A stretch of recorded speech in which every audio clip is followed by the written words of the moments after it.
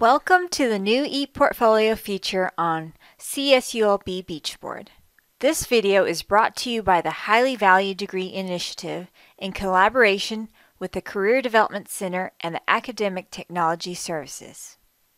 Our video will cover what an ePortfolio is, the overall benefits, the homepage overview, and key features to the ePortfolio. First, we will go over some background information on ePortfolio.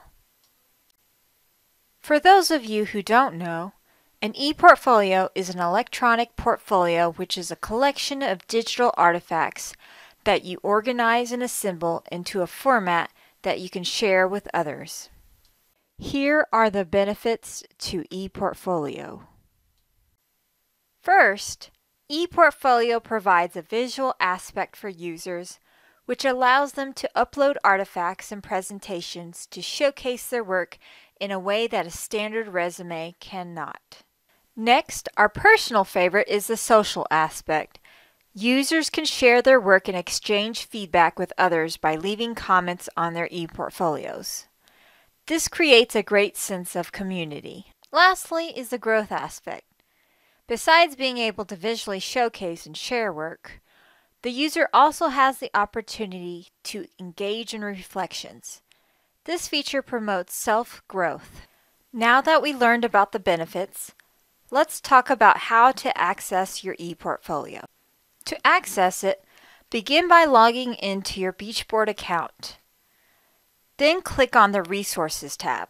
From there, you will use the drop-down menu to click on ePortfolio, and this will take you to the home page.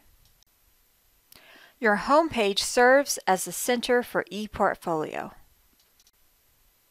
From the home page, you can create a reflection to describe content and attach supplemental material. You are also able to create new presentations and collections. First, we will discuss reflections. A reflection is a way to measure personal growth and development. The first step to create a reflection is to go to the My Items tab and click Add. The next step is to select the artifact you want to reflect on. Step 3 will be to click on Add Reflection. Step 4 includes creating a title and typing in your reflection in the text box provided. Finally, step 5, click on Add to publish your reflection. Now your reflection will be added to the artifact. Now that we've discussed reflections, here are the other features within ePortfolio. The features in ePortfolio include uploading artifacts, organizing artifacts into collections or presentations, and sharing your work with others to allow them to comment on your work. Let's start with artifacts. Artifacts are items you can add to your ePortfolio. Icons shown here represent the different types of artifacts that can be uploaded into ePortfolio. So to understand ePortfolio, we will go over commonly used terms and their corresponding icons. Artifacts are comprised of reflections, documents, PDFs, photos, and links.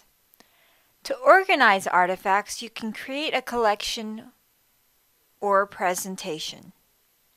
To share content, you can send it to other Beachboard users who have the option to comment. The first step to upload artifacts is to click My Items from the home page. Step 2 is to click Add and choose what you want to be added from the drop-down menu.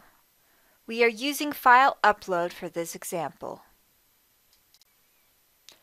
In Step 3, you must choose the file location where your artifacts have been stored. For this example, we will choose My Computer. Once uploaded, click Add. Finally, You will create a title, description, and save your artifact. You can also add artifacts from your home page. In this case, simply click Add Files or Add Link. Then click Add to ePortfolio and you are set. Be aware that by adding from the home page, you will not be able to add a description. After artifacts are uploaded, you can create collections. So what is a collection? A collection is a categorized folder of artifacts. You can create a new collection by clicking the paperclip icon on the right side of the home page. Next, create a title and description and then click Save and Close. When your collection is created, you can add artifacts to it. Select an artifact, then click on the action arrow and choose Add to Collection. Then click on the collection you would like to add your artifact to. Finally, click the Add button to transfer your artifact to the chosen collections. A great benefit of ePortfolio is that you can create more than one collection. Thank you for watching Part 1. Stay tuned for Part 2 to learn how to create presentations. Additionally, Part 2 will cover how to share and comment on the contents of your peer's ePortfolio. For any questions, please contact Academic Technology Services.